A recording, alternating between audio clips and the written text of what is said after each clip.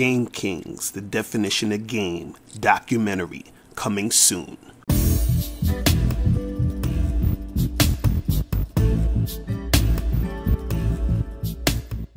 Yo, yo, what's going on? It's your boy, Mr. Locario, the bad boy of the dating game. What's good? So I got an email from a subscriber, and this subscriber sent a donation, so thanks for your donation. And remember, guys, if you want to guarantee that your question will be answered, make sure you click the link below and send a donation. So this one says, um, I need your opinion on something. Uh, this is not regarding myself, but is an observation that I have noticed with many men in relationships and marriages. What I notice is that many men make girlfriends uh, slash wives their life and lose their purpose to the point where they uh, where when they separate slash divorce from these girlfriends or wives they are left rusty when it comes to moving on to other women after uh, after the breakup.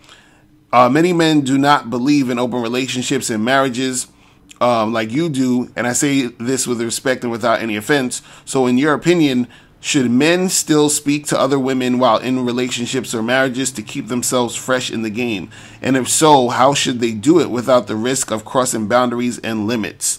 All right, so when you are in a relationship with a chick, you know, you got a girlfriend, you got a wife or whatever, you definitely should still talk to other women, just like, you know, interact with them. You understand? Doesn't mean you have to you know, have sex with them doesn't mean you have to do anything particularly where, you know, it's a sexual thing to the point where it's cheating, but you still should be talking to women and flirting with women. You understand? So you should still like go out with your boys, you know, hang out with them, have some have some um single friends. You understand what I'm saying too? Where y'all just going out, y'all kicking it, and you chilling, holler at women with them. You understand what I'm saying? And the thing is, you don't have to really uh, take it to that next step to where it gets sexual. You just have to be disciplined. So don't get any girls' numbers. Don't give any women your number. You understand what I'm saying? You can just go out and chill and just be social. You see what I'm saying? And see, the reason why this is good is because what happens is is that it keeps you sharp when it comes to interacting with women, right? And also, you know, it keeps you sharp when interacting with the chick that you are with, you know, right now, who's your girl. Right? But see, what you don't want to do is you don't want to be in a relationship and just be talking to your girl and just ignoring other women. You understand what I'm saying? Because you want to feed off that energy um, of other women, right? When you, even when you, you know, you have a girlfriend and your wife, right? That even makes the situation with your girlfriend and your wife better because you just have that, you have more of that like uh, pep in your step when you're talking to, to, to women. See, what I find funny is, is that you know, I, I, always laugh at guys who who talk about, oh, I don't approach women and this and this and that and blah blah blah there's a certain type of energy that is exchanged when you're flirting with a chick. You understand what I'm saying? It's in, in, in dudes who, who who go out there and talk to women and interact with women know exactly what I'm talking about.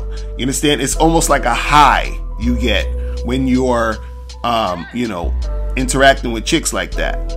Right? So even if you um, you know, are with a woman that's your girlfriend, right?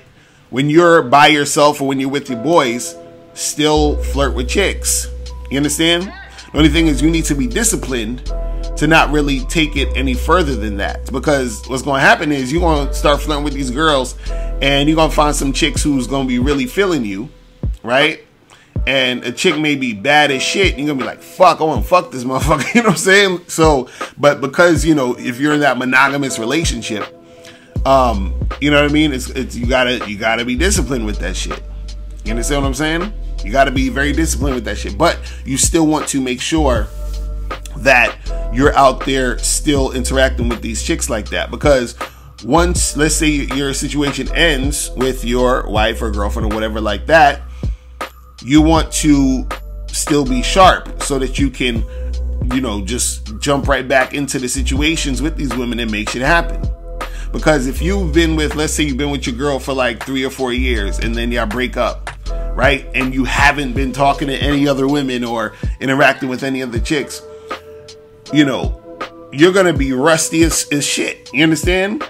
It's gonna be hard for you to really get back in the game and make shit happen. You understand? Because you've, you know, you've been out the situation for so long. You see what I'm saying? So it's it's definitely um, you know important for you guys out there, even if you have a girlfriend or wife, um, to still talk to and flirt with other chicks. Just be disciplined enough to not take it to the you know that next step. All right. So that's pretty much it. Listen, guys, if you have any questions, click the link below and I'll holler at you later. Remember, the truth is inside you. Peace. I'm gone.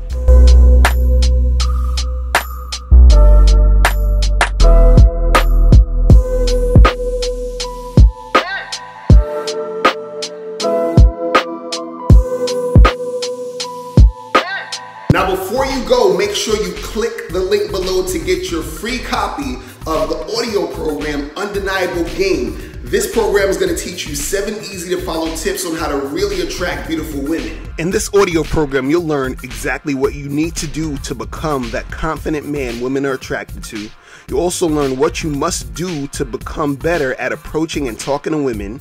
You'll learn why women don't return your calls and what to do to increase the chances of women returning your calls. You also learn the only time you should call or text a woman. You'll learn how to start conversations with women. You'll learn the mindset you must have to be successful with women. You'll also learn the main thing you need to do to figure out if a woman is really interested in you and much more. So make sure you click the link below to get your copy today.